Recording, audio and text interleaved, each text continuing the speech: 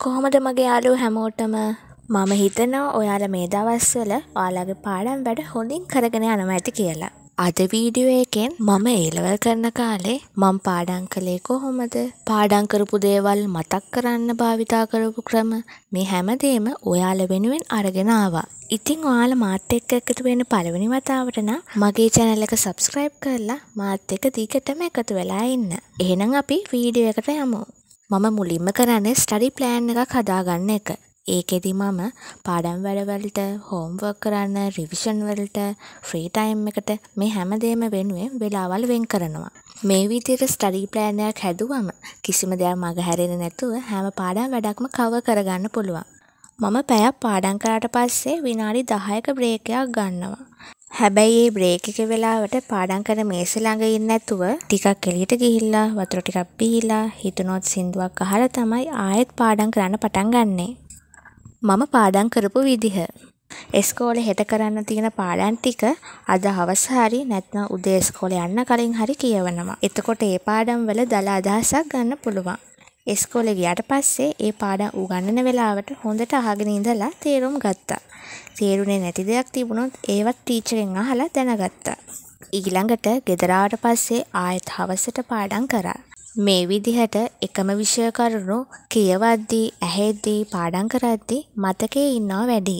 මම පාඩම් කරපු දේවල් රිවිෂන් කරන්නේ කොහොමද? මගේ පාඩම් වැඩ හෝම්වර්ක් කළේ වුණාට පස්සේ වෙලාවක් වෙන් කරනවා රිවිෂන් කරන්න. මම ඒ වෙලාවට පාඩම් කරපු නෝට්ස් ටික නැවත මතක් කරගන්නවා. මම මතක් කරන ගමන් කොලයක් අරගෙන පාඩම් කරපු හැම දේම ලියනවා. ඒ ලියනකොට අමතකුණු දේවල් ටික විතරක් පොතෙන් බලලා ආයෙත් පාඩම් කරනවා. තව දෙයක් තමයි පාඩම් කළා ඉවරනට පස්සේ පාස් පේපර්ස් පොත අරගෙන මම කරපු පාඩම් වලට අදාළ ප්‍රශ්න වලට උත්තර ලියනවා. එතකොට පාඩම් කරපු කරුණු මතක් කරගන්න පුළුවන් වගේම ප්‍රශ්න වලට උත්තර ලියන විදිහත් දැනගන්න පුළුවන්. සතියක් ඇතුළත කරපු දේවල් රිවිෂන් කරන්න මම යොදාගත්තේ සෙනසුරාදා ඉරිදයි.